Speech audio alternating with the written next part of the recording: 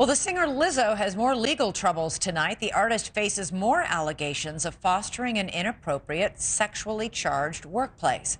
They come on top of a sexual assault harassment lawsuit from three former backup dancers. Lawyers for the dancers say more people have stepped forward with similar stories. Lizzo denies those claims. Joining us now is NewsNation correspondent Sloan Glass. And Sloan, you've been following the developments. What's the latest? Hey, Elizabeth, the attorney for the dancer says some of the new claims are outside the statute of limitations. Others are allegations that are still being vetted. These new complaints happening as the ex-dancer's legal team asks for more people to come forward and corroborate their client's claims that the singer created a hostile work environment. This is a Me Too type situation where, you know, you have these dancers, you have folks who are working for Lizzo, and they're afraid but there's strength in numbers and i would encourage anyone not to be afraid anymore. You don't have to be worried about rich and powerful people in hollywood. It doesn't have to be old white men. It can even be people like lizzo. The attorney for the former backup dancers revealing we have received at least six inquiries from other people with similar stories since we filed the complaint. Noelle, Crystal, and Arianna have bravely spoken out and shared their experiences opening the door for others to feel empowered to do the same.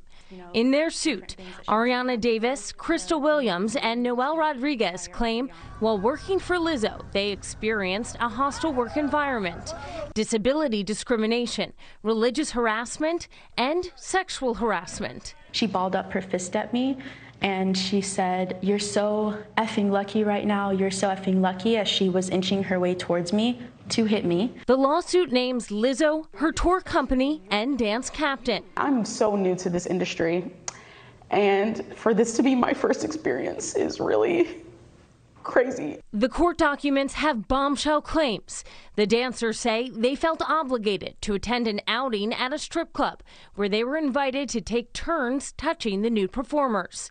The trio also claimed Lizzo's dance captain body shamed the dancers and that while competing on the reality series Watch Out for the Big Grrrls, they were required to participate in a nude photo shoot. Lizzo slammed the claims, calling them unbelievable and saying, in part, these sensationalized stories are coming from former employees who have already publicly admitted that they were told their behavior on tour was inappropriate and unprofessional.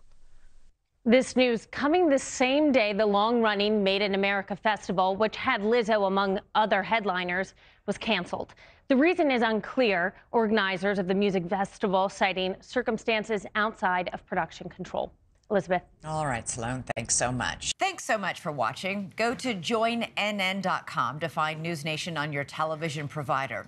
And don't forget to click the red subscribe button below to get more of NewsNation's fact driven, unbiased coverage.